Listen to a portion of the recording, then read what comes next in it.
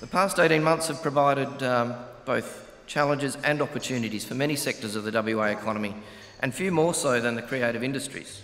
Women face higher barriers to access and consume uh, the arts and culture, um, much more than men. And if we look a little bit in depth, so of course there is the story uh, that women uh, aged between 25 and 40, uh, they, lack of, they lack of time. And this is possibly due to childcare responsibilities. But the other side of the story is really interesting, is the fact that women are really keen and, uh, to consume more uh, art and industries, but men not so much. As the government has made uh, WA Museum Boola Bardip free admission for the first 18 months, and obviously, uh, I say no secret that, that I'd like to see that continue. And time and again in that report, it draws attention to the fact that the greatest um, value of culture is to those on lowest incomes, but the greatest barrier to culture is admission and ticket prices. Mm.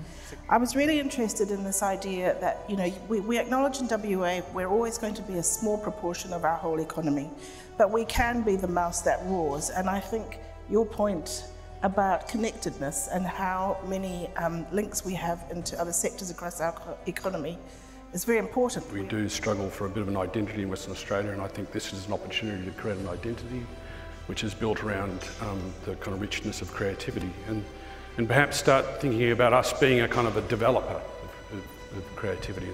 So we have a system where if you're, you're a lower income family and you would like to um, play cricket or join up with a football club, there's a voucher that you can redeem with the department um, for your membership, which is great get for lower income families. And I was wondering if perhaps we could have some sort of similar system like that to get people involved with culture and the arts. Yeah.